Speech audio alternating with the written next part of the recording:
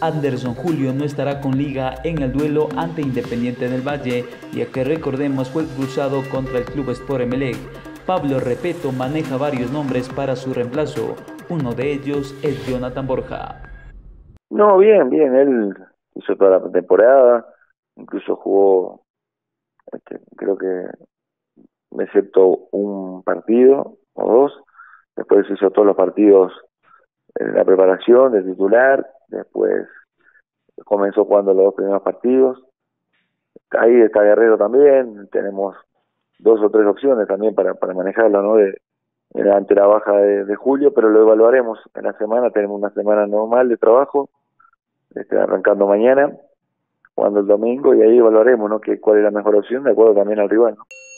Hernán Barcos llegó a 84 goles con el Albo y acortó la distancia que lo separa de José Vicente Moreno en el liderato de la tabla de máximos goleadores en la historia de Liga Deportiva Universitaria con sus 87 tantos.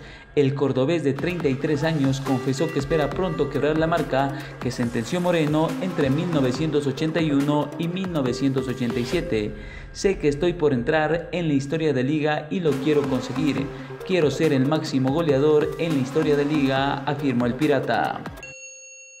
Horacio Salaverri ya obtuvo su nacionalización ecuatoriana y ahora Liga Deportiva Universitaria tiene cuatro hombres de jerarquía en su zona defensiva, Hernán Pellerano, Anderson Ordóñez, Franklin Guerra y ahora el uruguayo ecuatoriano Salaverri.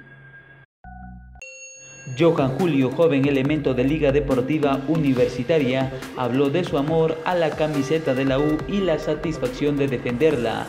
Desde niño soy hincha de liga y siempre admiré a Manso, que es mi ídolo. Yo siento compromiso con mi equipo porque me lo ha dado todo. Salí de las formativas y por ello me identifico mucho con el club, aseguró el jugador.